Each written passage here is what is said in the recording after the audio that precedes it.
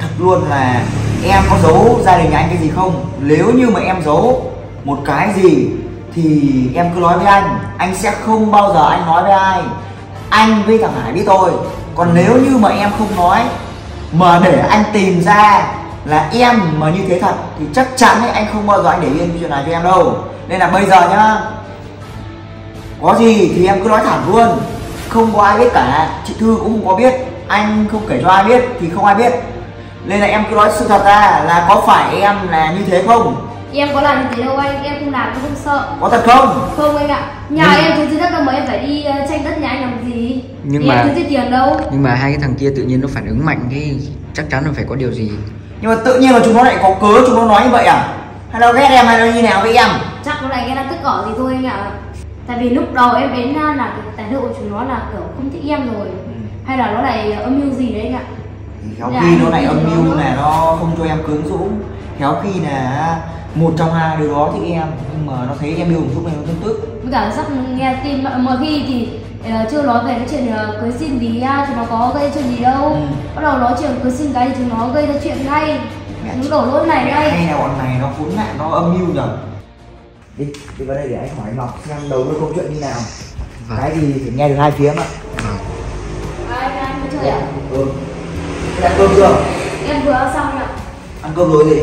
Vâng. thế dũng với cả là bố dũng đâu? Dũng thì đang trong phòng còn bố đi chơi đấy ạ. À? thì ờ, anh như này nhá. Anh thật sự luôn là mấy ngày hôm nay anh rất là bức xúc. Anh không biết là đầu đuôi câu chuyện như thế nào. Nên là ngày hôm nay anh mới muốn gặp riêng em để anh nói chuyện. Thôi cứ nói nhỏ nhỏ thôi không thì thằng Dũng nó nghe thấy nó lại ra. Cũng không hay bởi vì là em cũng chuẩn bị về về đây để làm dâu gia đình anh rồi. Nên là anh cũng muốn hỏi luôn ba mặt một lời luôn. Cái bởi vì là cái gì thì mình nghe mình phải nghe từ hai phía đúng không? Đúng rồi thì anh hỏi luôn là như này. Thì cái câu chuyện là mấy ngày hôm nay thằng bít với cả là thằng thông nó mới bảo em là em có gọi điện với ai? Em nói xấu. Em bảo là em cưới dũng chỉ là kế hoạch với cả là chỉ là âm mưu thì anh hỏi em là sự thật là như nào? Em có như thế không? Không em không như thế anh ạ Tại vì hôm đấy là từ sáng giờ em ở nhà với Dũng. Thì cả Dũng cũng biết là em ở nhà Dũng em không đi đâu cả. Ừ. Chắc là chúng nó nhìn nhầm ở đâu xong rồi nói em đấy anh ạ. Nhìn nhầm nhưng mà tại sao? Mà chúng nó lại có cái cái cái cái mà nó nhìn như thế để mà nó nó kể ra được thì chắc chắn là hay là em đang giấu anh cái điều gì đó. Bây giờ Em không nhá. cả. Chắc là chúng nó thấy em mà Em đang yêu Dũng cả, em có nhiều vài như thế là chắc nó, kiểu, gây chuyện ra để em giúp không đến được với nhau em anh ạ. Anh không biết là đầu đuôi câu chuyện như nào, nên là anh phải hỏi. Bởi nhưng bây giờ anh hỏi thật luôn là em có giấu gia đình nhà anh cái gì không? Nếu như mà em giấu một cái gì, thì em cứ nói với anh. Anh sẽ không bao giờ anh nói với ai. Anh với thằng hải biết thôi còn nếu như mà em không nói mà để anh tìm ra là em mà như thế thật thì chắc chắn ấy, anh không bao giờ anh để yên cái chuyện này cho em đâu. Nên là bây giờ nhá có gì thì em cứ nói thẳng luôn. Không có ai biết cả chị thư cũng không có biết anh không kể cho ai biết thì không ai biết. Nên là em cứ nói sự thật ra là có phải em là như thế không? Em có làm như thế đâu anh Em không làm em không sợ. Có thật không? Không anh ạ. Nhà Nhưng- em thứ đất đâu mà em phải đi ờ, tranh đất nhà anh làm gì? Nhưng thì mà- em thứ tiền đâu. nhưng mà hai cái thằng kia tự nhiên nó phản ứng mạnh cái chắc chắn là phải có điều gì nhưng mà tự nhiên là chúng nó lại có cớ chúng nó nói như vậy à? Hay là ghét em hay là như nào với em? Chắc nó này em đang tức cỏ gì thôi anh ạ nhưng mà anh nghi ngờ lắm nhá. Chứ anh không bao giờ mà anh anh anh anh thấy thế nó nó dựng chuyện như thế đâu. Chắc chắn là phải có cái cái điều gì rồi. Thế nhà em, em hỏi nhà em đầy vàng đầy đất đầy tiền dân làm gì phải tranh đất anh làm anh biết là nhà em có điều kiện nhưng mà biết đâu em yêu dũng hay em lợi dụng cái gì của dũng hay sao? Đúng không? Em ờ, yêu Dũng thật lòng chứ không phải là lợi dụng cả. Mà tại sao chúng nó lại nói như thế? Tự nhiên trong khi hôm đấy là em ở nhà với Dũng cả ngày chứ không đi đâu ra ngoài đường cả. Theo hôm đấy nó lại bảo là nó nhìn thấy em ngoài chợ. Thì em lúc đấy em không đi chợ gì? Mấy em ở nhà em đi chợ gì đâu ở nhà với Dũng cả ngày luôn không bước chân vào đường luôn. Anh không muốn là nói chuyện có cả dũng với cả là có cả bác bác thắng ở đây nên anh không muốn nói. Bây giờ anh nói ra thì khác gì là em là con người nó có cái loại có cái kia bác ấy đúng không? Nên là anh gọi em ra để anh nói chuyện riêng. Nên là anh mong em hợp tác thôi còn là bây giờ ấy mà em không nói ra cái sự thật ra ấy mà để anh mà tìm thấy ấy, chắc chắn ấy không phải mà nói chuyện nó bình thường này đâu. Đúng không? Đúng chắc chắn là anh sẽ phải làm to lên và thậm chí ấy, anh không để yên cái chuyện này đâu vậy đâu. Mà kể cả em nhá không có như thế thì em không bình review em bình mình sợ. Em cứ bình thường cây ngay nó không sao đứng đúng rồi. Việc gì mà mình cứ phải ai áy náy nọ kia em không phải áy náy gì cả. Còn cả cái chuyện mà mà nó vứt cái bánh của em đi thế. Em không phải cay cú em không phải kể để cho ai biết làm gì cả. Tại vì em ăn đức quá anh ạ. Tại vì bản thân không làm cái gì mà bị đổ lỗi như thế. Xong rồi nó đánh em nữa chẳng tức anh. Mình biết là như thế nhưng mà bây giờ chị với Dũng cũng sắp cưới nhau rồi mà chị tự nhiên chị nói thế thì chị biết là Dũng sắp chị với Dũng sắp cưới nhau thì bây giờ đang sắp cưới nhau mà lại xảy ra cái chuyện này nữa lại càng nghĩ thêm. Thế bây giờ một bên là bạn của anh một bên là em dâu cũng là em của anh. Bây giờ anh phải nghe ai mà trong khi đó? Anh là người đứng ở giữa. Khó anh không thể nào mà anh xử lý như nào để cho nó hài hòa được. Với lại anh biết anh có cũng rồi có luôn đấy giờ em cũng chẳng biết làm thế nào trong khi bản thân không làm gì.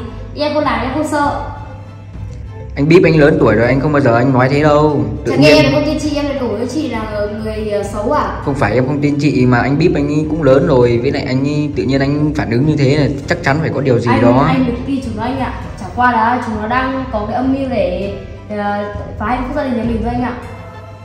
Thế á? chúng nó không muốn em cả dung đến với nhau cả phá hạnh phúc gia đình mình ấy hai bọn này nó âm mưu nhở. Hai bọn này nó âm mưu để nó Chắc phá vỡ hạnh phúc của em với cả dũng nhở hay là nó không thích em ấy? Tại vì lúc đầu em đến à, là cái tài liệu của chúng nó là kiểu không thích em rồi. Hay là nó lại âm mưu gì đấy anh ạ thì khéo Dạ, khi nó lại âm mưu là nó không cho em cưới dũng. Khéo khi là một trong hai đứa đó thích em nhưng mà nó thấy em yêu thằng dũng này nó thân tức với cả sắp nghe tin mọi khi thì ờ, chưa nói về cái chuyện ờ, cưới xin thì à, chúng nó có gây chuyện gì đâu. Ừ. bắt đầu nói chuyện cưới xin cái thì chúng nó gây ra chuyện ngay. Chúng đổ lỗi này ngay. hay là bọn này nó khốn nạn nó âm mưu nhở?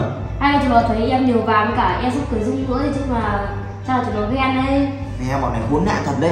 Đúng rồi chị anh ạ em thấy anh chị đầu cũng đấy, tốt. ừ, rồi. em nói như vậy anh mới, mới để ý đấy. Chắc là nó ghen em là lúc mà em về đây là em cưới dũng này nó tức ấy là nó ghen ăn tức ở thôi. Đúng rồi anh. Mẹ hóa ra nó đâu như thế. Khốn nạn thật sự luôn đấy. Để Chứ- không thì mai anh là chúng nó xong anh hỏi rõ chuyện ra dân như nào là đi theo dõi nó ấy chứ em sợ là chúng nó âm mưu chúng nó phá phúc bọn này nó khốn nạn thật. Nếu mà nó mà làm như thế nó làm ảnh hưởng đến em. Với dũng nhá nhất quyết anh không bao giờ anh để yên chuyện này đâu. Bởi vì là anh sẽ bảo vệ bọn em. Anh sẽ lo cho bọn em. Anh không bao giờ anh để yên cái bọn nó bởi vì chúng nó chỉ là người ngoài thôi. Mới hôm kia bảo là bắt đầu là anh chị mọi người bảo là xin cưới các kiểu đấy. Ừ. thì hôm qua cái chúng nó gây chuyện chúng nó đến chúng nó hổ chúng nó chửi em này kia bảo em lừa đảo này kia. Ừ. thì anh phải biết là chắc là chúng nó lại âm mưu gì rồi. Chắc chắn chúng nó âm mưu rồi. Mẹ biết ngay mà em nói như thế thì anh mới nghĩ ra là chắc chắn bọn này nó cay cú bởi vì là em yêu Dũng. Mà chắc chắn là hai đứa chúng nó một trong hai chúng nó có tình cảm với em. Chúng nó thấy em nhà giàu chúng nó thấy em uh, thế nọ thế kia nên là đâm ra chúng nó cũng thích. Nhưng mà nó thấy em yêu Dũng nên nó ghen. Nó ghen này là nó phá. Mẹ bảo sao? Bây giờ anh nghĩ ra chắc chắn là thì mẹ mẹ hai đứa chúng nó âm mưu với nhau rồi. Đúng rồi. Mẹ mày hai bọn này á, phải à, đánh cho nó chúng chúng nó trận. Không bây giờ mình chưa có hạt chứng sao đánh được ai bây giờ mình phải tìm rõ nguyên nhân ra trước xem là mọi chuyện như thế nào xem chúng nó âm mưu như thế nào mình phải ờ, theo dõi chúng nó Bây giờ á, em không việc gì phải sợ. Nếu chúng nó đến đây chúng nó chửi em Chúng nó gặp em ở ngoài đường chúng nó chửi em Em bảo mặt chúng nó luôn. Như nào gọi anh ra Như nào gọi Dũng ra. Không việc gì phải sợ. Đây em đánh lại mà tại vì em có sai đâu mà em phải sợ. Đúng rồi. Mình không sai Mình không phải sợ. Mình chỉ sợ những Mình làm sai thôi. Còn là không sai Kể cả mẹ nó là ai luôn Nó cũng mình sợ. Chứ còn việc gì mà mình phải là phải để lan là nó là bạn của anh. Anh không nếu anh học luôn Nếu như mà nó không để em Thì anh cũng không để nó. Em cứ bình thường Em Nếu như nó mà không để anh nhá. Đúng không? Thì là nó đã thì nó như vậy rồi. Thì chắc chắn là nếu như mà nó đã để em thì nó không bao giờ đánh em.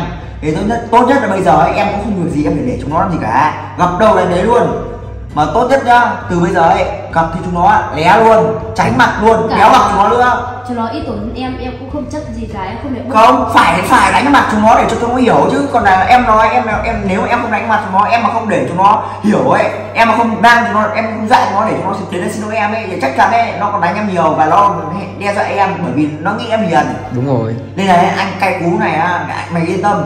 Anh hứa với mày luôn là anh sẽ tìm chúng nó anh gọi bằng đưa chúng nó sang đây để nó xin lỗi mày. Được chưa? Xin lỗi được xin lỗi được nhưng mà quan trọng là bây giờ phải đi theo dõi chúng nó xem chúng nó có âm mưu gì anh ạ. Chứ bây giờ mình đi mình, mình đi mình đánh nó mà trong khi mình không có bằng chứng gì cả. Ừ thì anh cũng không động- tay động chân gì với chúng nó bởi vì chúng nó là bạn của anh. Nhưng mà nếu chúng nó động vào em lần nữa thì anh chắc chắn luôn bạn bè ấy cũng đéo là là cái gì với anh luôn. Chỉ có người nhà mới là cái thứ mà anh tôn trọng nhất mà cái quan trọng nhất với đối với anh thôi. Bởi vì nếu như mà chúng nó mà mà mà mà anh đánh nó xong thì chúng nó ghét mình thì chúng nó không chơi với mình nữa. Nhưng mà em với cả Dũng là em của anh là máu mủ với anh à, là, là họ hàng với anh là là, là, là, là, là liên quan tới gia đình của của của, của chúng mình. Thì làm sao mà anh bỏ qua được? Làm sao mà anh anh anh bỏ chúng em được? Đúng không? Đúng rồi. Nên là chắc chắn ấy anh sẽ đứng về phía bọn em kể cả em có sai. Đấy anh nói thế còn là nếu như chúng nó mà động đến em một lần nữa anh chắc chắn anh đã lôi cổ chúng nó đến đây để chúng nó xin lỗi chúng bọn bọn em. Thế thôi còn nếu anh anh, sai anh bảo bọn em ba mặt lời đấy. Còn nếu như mà em không làm gì sai em không bị gì sợ. Mẹ chúng nó nữa chúng nó bố láo như thế nó không được.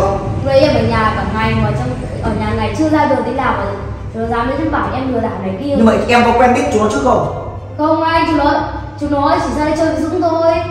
Chúng nó ra đây chơi với Dũng thì cũng ngồi nói chuyện bình thường với anh con mẹ tại sao mà sao tại sao chúng nó biết em mà, mà nó cứ nói nhở mẹ nó chắc là chúng nó thấy nhiều vàng chị Ngọc đeo ấy. Ghen à? Chắc ghen ăn tức ở đấy. Mẹ mấy con chó ghen làm đéo gì? Bây giờ thích chơi với nhau tiếp thì chơi còn không chơi thì nghỉ. Đúng chứ rồi. còn đừng phá vỡ hạnh phúc của bọn em bọn bọn bọn, bọn mấy đứa em tao. Nếu chúng mày cảm thấy chúng mày chơi được thì chơi không chơi được thì thì thì thì, thì Lách. lách thế thôi. Làm sao mà phải phải phải phải ghẹ phải ấy thế thế kia làm gì với lại Dũng với lại chị cũng sắp trở thành người một nhà rồi. Bây giờ chúng Đấy, nó phá thế đang, giờ đang nghĩ về cái chuyện cưới xin xong bây giờ đùng cái giờ lại thêm cái chuyện này nữa.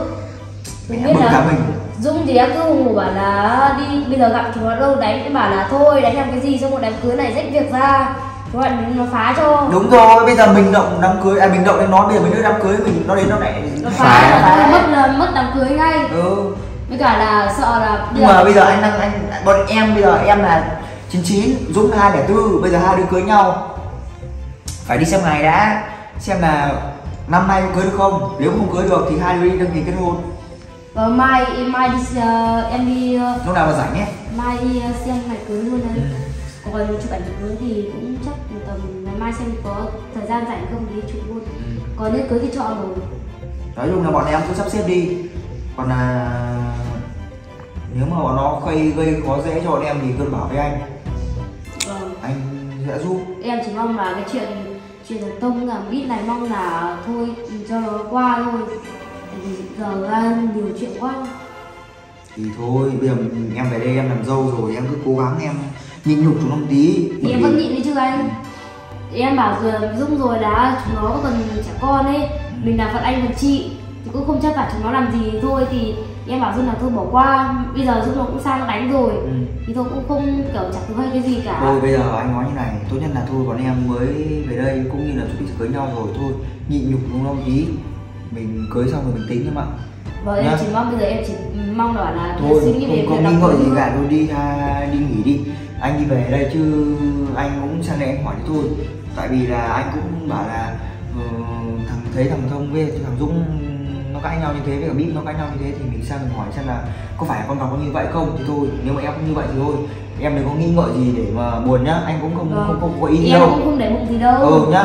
Vâng. Anh anh đi về đây. Đi, nghỉ anh đi về nhá. đây. ừ. Chị nghỉ nhá. Chứ về anh đây. cũng không phải là sang đây anh nói thế mà em để bụng đâu nhá. Vâng, em thì ngủ đây. Vừa nãy vừa nãy anh anh trở vào anh dọa con ngọc là ờ, có phải là mày là âm mưu cái gì không? Nhưng mà anh thấy nó vẫn không không không không không không không ấy đâu không phải đâu. Anh nghĩ ngọc nó tốt nhỉ? Chứ còn phải là nó bình tĩnh mà nó đâu. mà với anh vẫn anh vẫn cố tình anh vào anh dọa rồi đấy anh bảo là mày có phải là âm mưu gì không? Nếu như mày âm mưu gì nhá tao mà phát hiện ra nhá thì mày liệu hồn với tao đấy. Nhưng mà ngọc nó không ấy nó không thay đổi nhan sắc gì đâu. Anh thấy ngọc nó tốt mà. Hay là Đúng rồi. do bọn kia nó ghen ăn tức ở ấy. Chắc là bọn nó nên âm mưu gì đấy để chia rẽ hạnh phúc của Dũng với lại Ngọc. Ừ, anh nghi là bọn nó là bọn xấu ấy còn ngọc ấy sống tốt đấy mẹ bọn kia nó bố láo thật. Không bây giờ đi về để xem một hai hôm nữa xem bọn nó mà cứ nói những chuyện linh tinh đến ngọc nữa là anh à, mẹ không để lang bạn bè gì luôn